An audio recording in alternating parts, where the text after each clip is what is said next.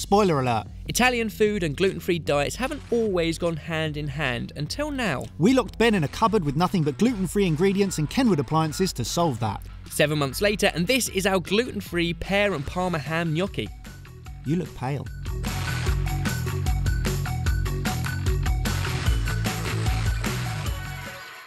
Okay, so the great thing about Italian food is that it's A, delicious and moreish, but it does tend to have a lot of gluten in it. Pizza, pasta, Mm-hmm. even gnocchi, potato dumplings. We're going to do the potato dumplings, but sub out the flour for non-gluten flours. Yes.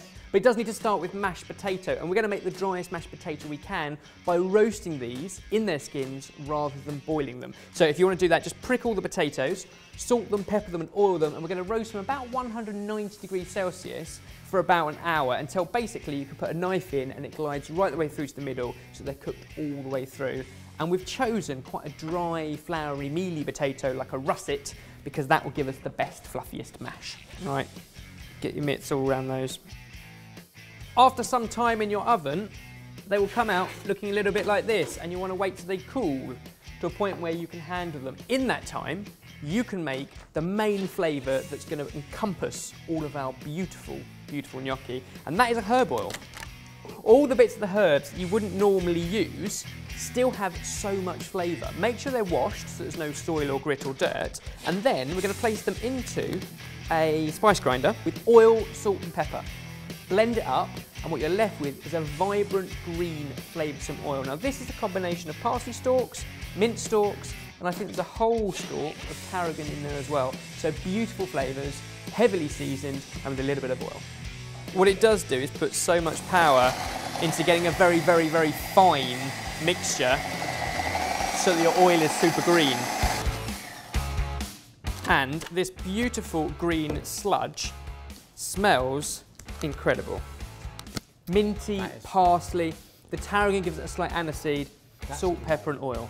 Teamwork on the spuds, we're going to cut them in half and then just scoop out the potato flesh, leaving you with skins. And that's why we season the potatoes, because we're not actually using the seasoned bit, but these make great leftover snacks with potato skins. Sprinkle of cheese, little herbs, some chili oil into a hot oven, they crisp up a treat. The bit we want is this, because this is mashed potato that's dry and it hasn't been boiled in water. And all of your mashed potato goes into our mixer and we've got the K-beater attachment. And what that's gonna do is beat ourselves a nice fluffy mash.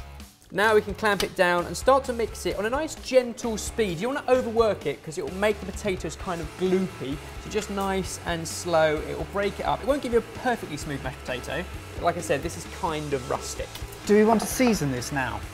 Yes, we have seasoned the outside of our potatoes, which we have then got rid of. I read the recipe. We should season the inside. A little bit of salt. I'm glad you're here. A little bit of pepper. Right, this bit I'm rather interested in because you've got three flours there, none of them glutinous, but one of them's got gluten in the title. Yes. So we have rice flour, Yeah, made from rice, the same way wheat flour is. We've got glutinous rice flour. Has no gluten in it. It's, it's, it's glutinous in terms of the Property. adjective, Yeah. not the noun. There is no gluten in it, but it is stretchy like Okay. gluten. And sorghum flour, which was a completely new flour Yeah, to me never until quite it. recently. It's a it's a grain. Um, it's originally from like Australia. It's really really wholesome, and again, it has great properties for baking. If you're trying to avoid gluten. There you go. So we've got an equal combination of all three, and they're going to go into this with two whole eggs, and then beat it until it has just come together into one dough.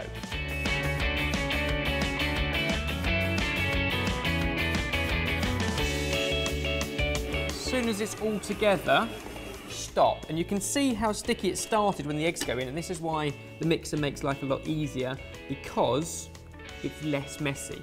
Now this mixture now needs rolling out into sausages on a floured surface. I suggest you use one of your gluten-free flours. Sorghum is particularly good for it. Now what we want to do is cut it into small pieces. So just pieces as long as they are thick. And then just with the back of a fork, give them a bit of a squidge, and what you end up with is that more familiar shape. It squashes them out a little bit, it makes them cook more evenly, and later on it gives divots for the oil to go into, so it all is Is that, delicious. that's why they do it? Well, it helps sauce to coat. I think that's why a lot of Okay, pasta yeah. is ribbed. Kapow, kapow, kapow. To cook our gnocchi, rapidly boiling water that we're going to heavily season. And then all they need is a couple of minutes until they literally float in the water. In that time, while they're cooking and floating, we can wipe down our board and dice a pear. They are floating. Once they're floating, they're pretty much there. You can test one if you like, but generally two or three minutes is good. Then drain them of most of their liquid. I just like to put them on a little bit of kitchen roll, mm -hmm. just to take the sog out of them. And that's the singular of soggy. And at this stage, you've got a couple of options. Once they've drained a bit on kitchen paper, place them into a bowl, toss through the herb oil, plate them up with the diced pear and the parma ham. Alternatively, you can go the extra mile and in a really hot pan, you can quickly fry them off and just get a little bit okay. of a golden colour. To do that, you could use butter. Mm -hmm. Up until this point, this whole dish has also been dairy-free, so that's up to you. Or you could just use some of that herb oil. The bit that you cook will lose some of its colour, so there's some you can leave back for plating. But in a nice hot pan, oh, wow. you can just place some of our gnocchi in and get a nice fry. You can even warm some of the pear through. I'm happy with that can serve a proportion up.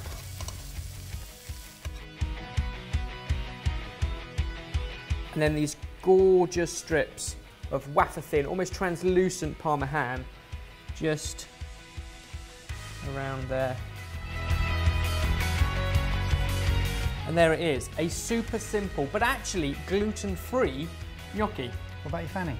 Ah, oh, per fan. And there you go. A perfectly gluten-free gnocchi sorted.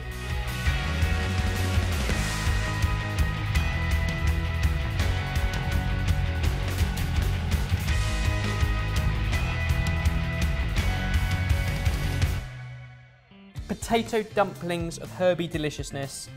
Dig in. Right, let's get the, let's give these a go. They're very, very good. So they've still got that slight bounce, which is what the glutinous flour gives it.